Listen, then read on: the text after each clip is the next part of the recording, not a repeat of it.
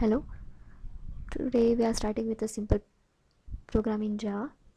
Okay. So i have written one class. Class simple. Inside that i am having one method. That is public static void main and arguments are passed. That is a string arguments. And then i'm having one statement that is system.out.println and inside that i have written hello hello java. So basically this program will print simple hello java on the console. Okay now just try to understand each and every part of this java program. So first we're having keyword class. Class it is a keyword okay which is used to define any class in a java. So what should be the syntax for declaring any class? That is a keyword class followed by name of your class okay? Inside class like a c or the c++ plus program we, we will be having one entry point of entry point function. That is nothing but our void main function but here in JVM we are having slight difference in this different uh, this void main function is slight different in Java okay? We just have to add this public and we have to add this static and some arguments are passed. Now we will see what is this. Uh, so public we know that each and every method or each and every da uh, data member in Java or in C++ must be having some access specifier which will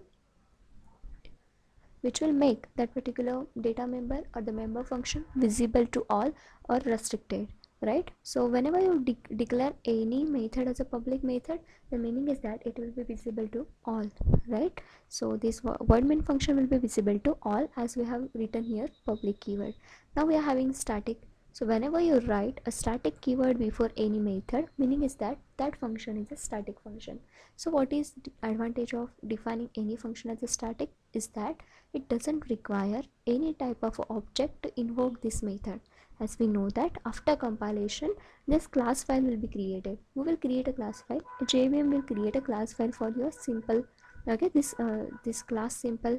So for jvm this method should be invoked directly okay without any object that is the reason why we declare the entry point of our entry point or entry function of our class as static. Then void as we know this main function returns nothing so it should be return type should be void void only. Then main it is main it is a main function. Then we are having string arguments. These are used to pass arguments through console to the java program right? And the system.out.println it is a statement which is used to print any statement in java. So this is about a simple program in java. Now we'll see. There are some variations to this uh, public static void main method. I'm, i have written here n number of declaration. Okay? The see the first one? It is the same as i have same as i have written in the program.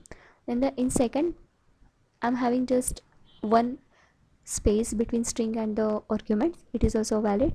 Then we are having this argument after this uh, args variable this is also valid. Then in the fourth one we are having dot dot dot. This is nothing but the uh, this array okay? Parenthesis it is also valid. Then we are having static keyword before obviously it is valid. Then we are having two another types that is a final void main and the final public static void main. We will see the use of this final keyword later.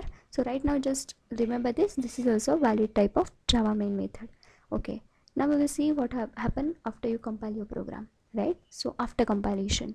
After compilation your your compiler will create a simple class file or the simple class file or the bytecode for your simple java program. So here for the simple java program simple class file will be created.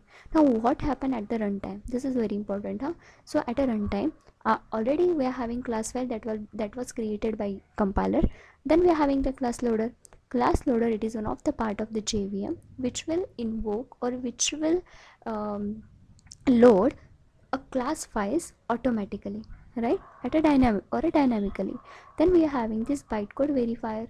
This bytecode verifier will check the code fragments for any illegal code that violate access right to the objects okay? Then we are having interpreter. Interpreter just execute instructions runtime runtime it is one of the uh, very important component of your JVM which will run your program. Okay so it is a com combination of JVM and the J Java API and lastly we are having hardware. The JVM handles any system calls of operating system as well as hardware